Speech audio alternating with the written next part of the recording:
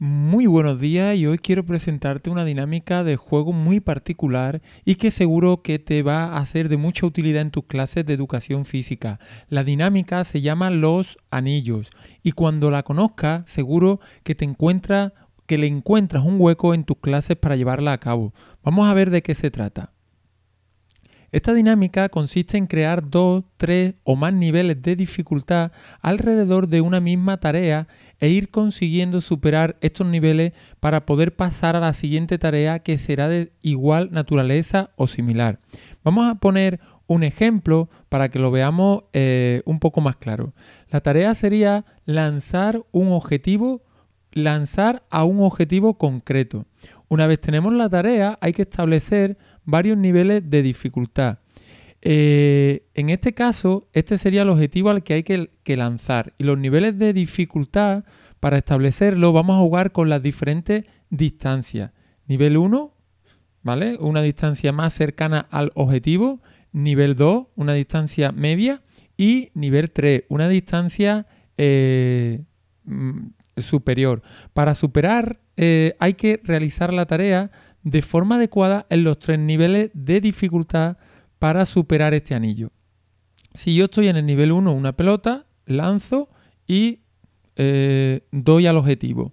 ¿Vale? Paso al nivel 2, estoy en el nivel 2, lanzo, doy al objetivo y me permite pasar al nivel 3 donde puedo lanzar y volver a dar al objetivo.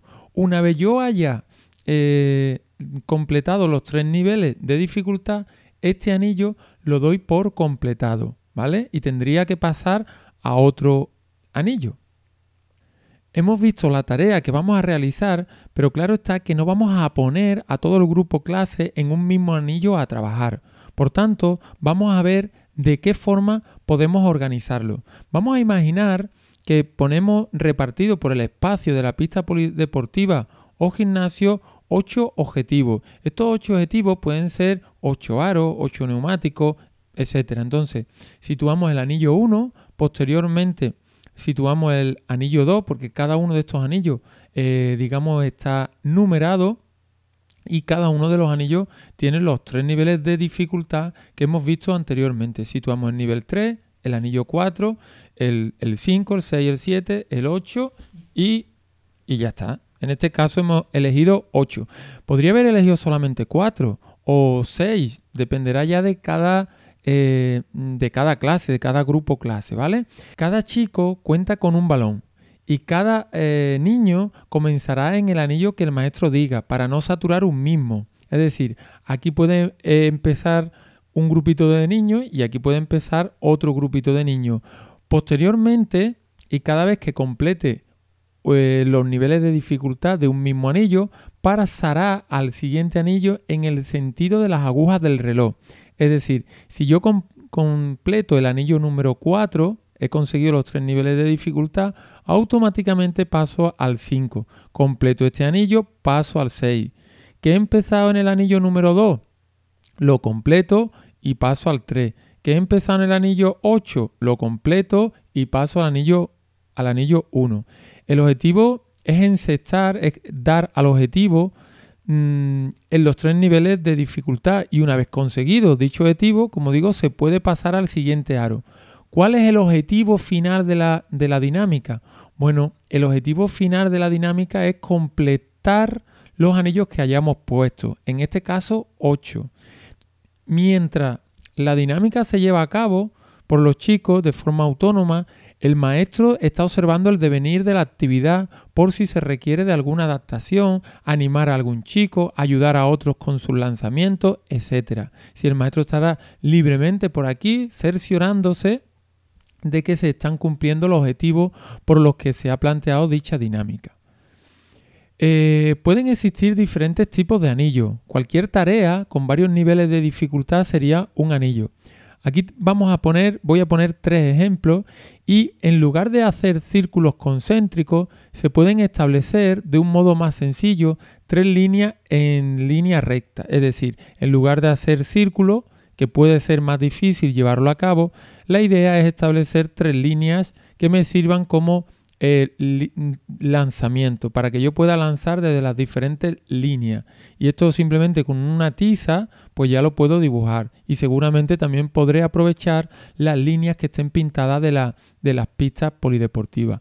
O incluso puedo establecer eh, niveles de dificultad variándole el ángulo de lanzamiento. Por ejemplo, aquí este sería el nivel 1, este sería el nivel 2 y aquí tenemos el nivel 3. Y es un anillo también válido y que, bueno, ni es el de círculos concéntricos ni es el de línea. O quizá queramos utilizar cualquier otra actividad con otros fines, como por ejemplo que dos chicos tengan que superar un zigzag de tres niveles. Eh, en este caso, uno llevaría los ojos tapados, ¿vale? El nivel 1 sería ir del punto A al punto B mm, sin golpear el que lleva la antifaz, sin golpear ninguno de los obstáculos.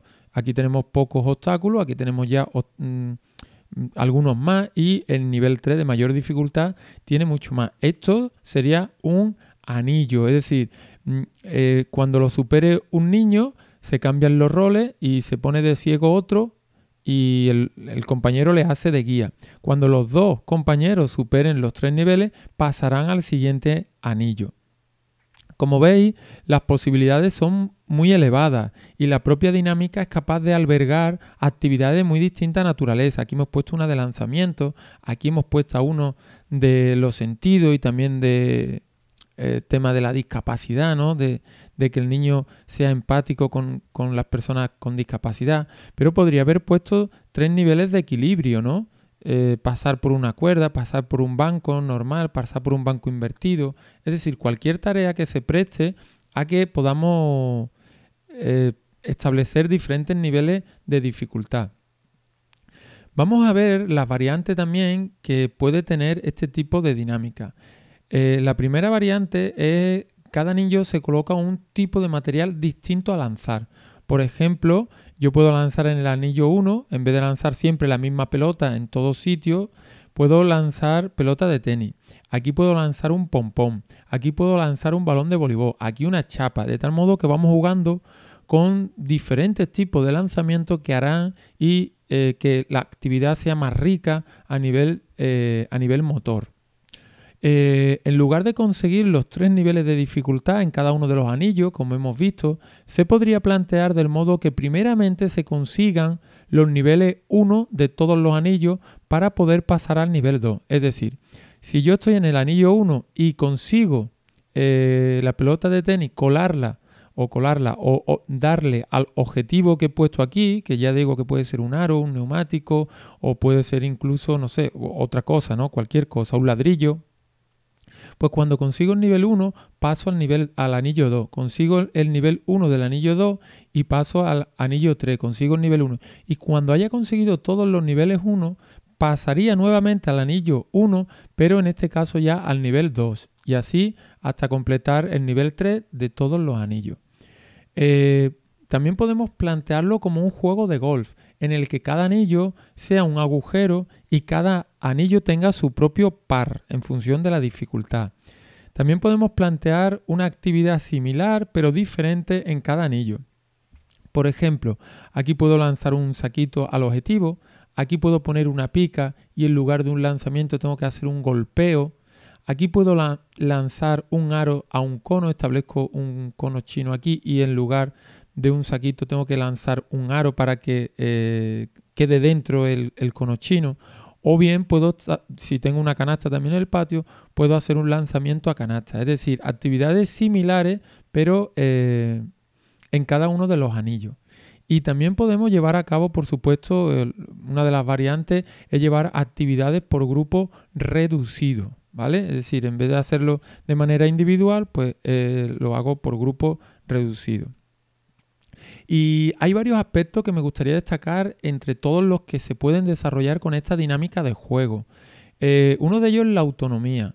Y en esta dinámica el chico conoce el objetivo desde el primer momento y conoce las reglas. Por tanto, a partir de ese momento es él quien tiene que decidir cuándo lanzar, cuánto correr, de qué forma hacerlo, etcétera, etcétera. Y también estamos resaltando la responsabilidad. Al ser una práctica autónoma, los chicos tendrán que decidir cuándo han conseguido completar el anillo y pasar a otro. Se puede engañar a sí mismo y completar los anillos en 5 minutos, o bien puede ser responsable e intentar cumplir las normas e independientemente de los anillos que consiga completar, disfrute de la actividad y del afán de superación.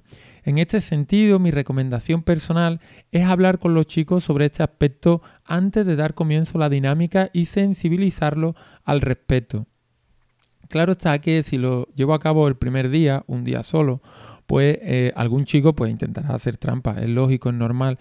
Pero bueno, a partir de que se desarrolle, eh, de que se lleve a cabo más veces, seguro que los niños eh, aprenderán a que no le den tanta importancia a completar todos los anillos, sino a ir superando esos niveles de dificultad. Si te gustó este vídeo, puedes suscribirte al canal y si quieres seguir formándote de forma específica en educación física y bajo un prisma práctico y de utilidad del día a día, puedes hacerlo a través de los cursos de educación física del valor de la educación física.com.